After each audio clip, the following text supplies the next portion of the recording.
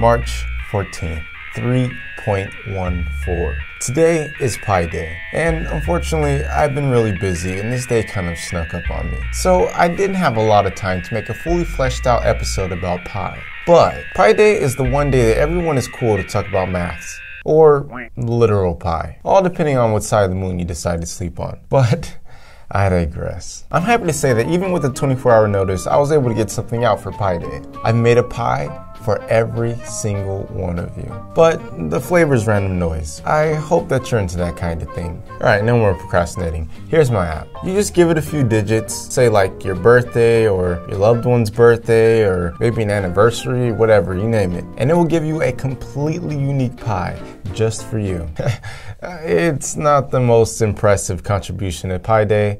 However, I think the real fun is when you get into the details of the concepts used for this app. So, Here's how it works. Pi is an irrational number, meaning if you calculate it, the decimal value will go on infinitely without ever repeating as far as we know. To this date, no one knows the true value of pi. In fact, the record for most decimal values calculated is over 1 trillion. But thankfully, rounding to the first couple of digits is accurate enough for most applications. But that's no fun. We can actually have some fun and use this infinite decimal value to our advantage. There's an old saying that goes everything that has ever happened and will happen is somewhere encoded in pi. And we can test for this to be true thanks to this software that I wrote. After downloading a text file with 1 billion digits calculated, seriously, have any guys ever seen a text file almost a gig in size? It's nuts. This thing barely even loads when you try and open it. If I search for any significant date to me, like my birthday, the day I started YouTube, when I finished my first machine learning project, it can all be found, as well as any address I've ever lived at. And I'm sure if I had more pi digits, I'd even be able to find the latitude and longitude of just about every location I've ever been to. But back to the pi I made for you. So when you type in this significant number sequence of yours, a search is performed among all the pi digits, and then a location in pi is returned. And this location is then used to generate a quarter of a million pixel values. But because pi has a relatively random distribution, we unfortunately don't get anything too cool. All we really get is noise in return for an image. But I then use these pixel values to generate an image. I add a simple overlay over that and voila.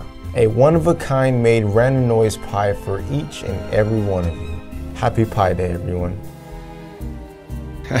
a quick and easy video for Pi Day. I hope you all enjoyed it. This was just some quick fun that I had with Pi. I encourage you all to play around with Pi and see how creative you can get with Pi's infinite sequence of numbers. Think about the cool stuff you can make. Hmm?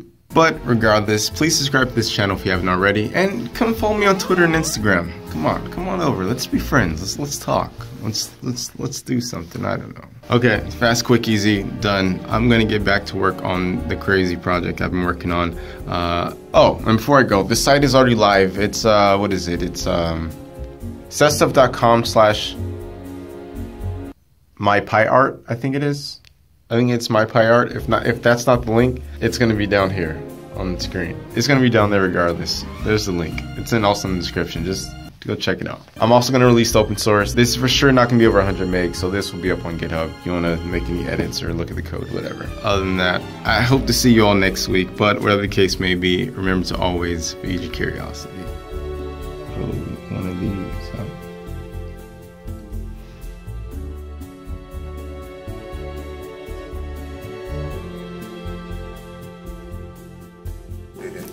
And we can test for this. The pie is so good. What the hell?